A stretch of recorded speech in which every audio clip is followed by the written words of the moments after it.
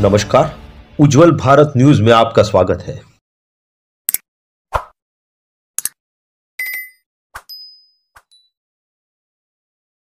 नमस्कार। उज्जवल भारत न्यूज़ में आपका स्वागत है।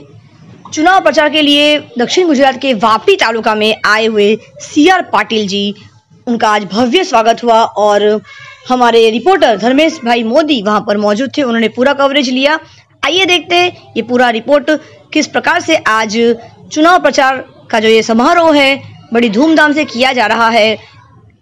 28 फरवरी 2021 आने वाले इतवार को जो तालुका पंचायत और जिला पंचायत का जो चुनाव होने जा रहा है, उसी के प्रचार के लिए आज सी आर पाटिल जी यहाँ पे पहुँचे हैं वापी तालुका और देखते हैं ये पूरा रिपोर्ट। चुनावी दाव पेच कौन इस बार बाजी मारेगा?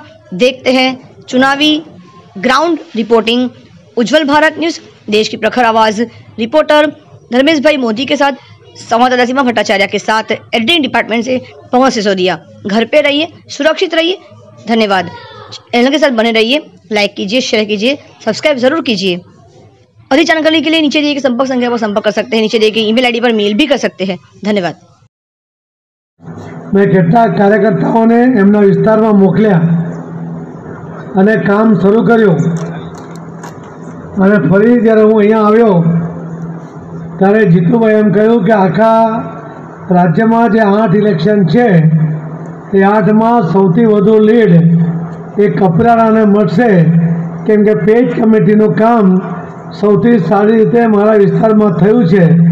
એ પેજ કમિટીના આધારે ઇલેક્શન જીતવાનો વિશ્વાસ જો કોઈએ સૌથી પહેલાં પ્રદર્શિત કર્યો, એ જીતુભાઈ હતા.